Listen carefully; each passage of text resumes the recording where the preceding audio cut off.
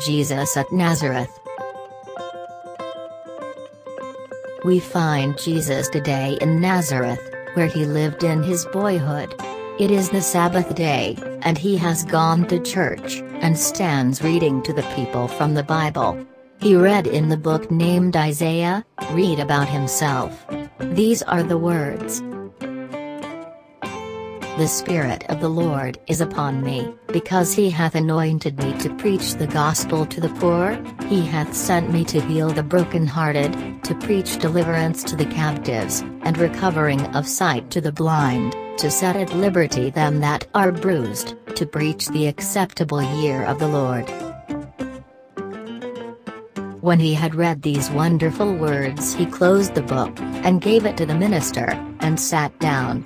All the people looked at him, wondering what he would say. Then he began to talk. He told them that the promises he had been reading to them were fulfilled. All listened and wondered at the tender and beautiful words that he spoke.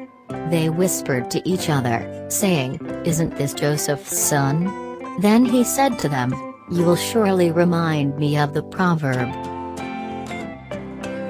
Physician, Heal thyself. Do some of the wonderful things here that we have heard of you doing in Capernaum. But, remember, no prophet is highly thought of in his own country.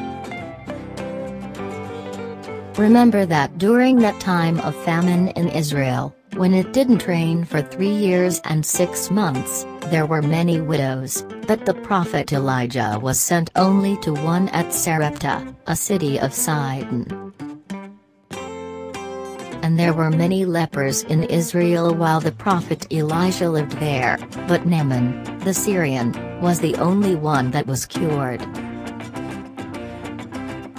This preaching made the people angry, and they started up in wrath and thrust him out of their city, and wanted to push him headlong down the hill on the top of which Nazareth was built.